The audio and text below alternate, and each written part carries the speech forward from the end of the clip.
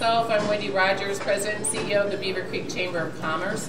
And we are so thrilled to be here today with Mary and Nathan.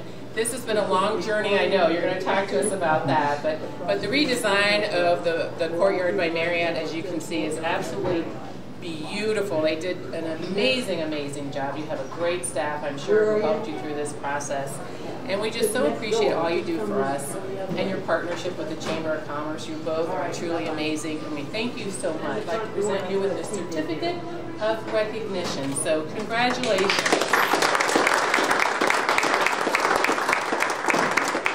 I'd like to invite Mayor Bob Stone to come up and say a few words as well.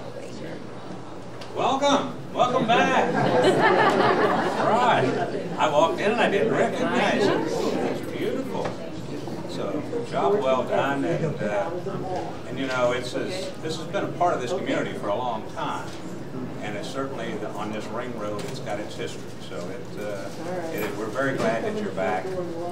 And I'm especially personally glad you're back because the courtyard does host an event for me on occasion. and, uh, and we have one coming up. So I want, I want to thank you in advance for that.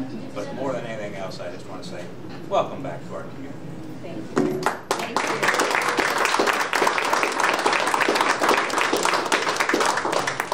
Nathan, I'm going to turn it over to you now. Thank you. Um, thanks for everyone for your support, for coming out.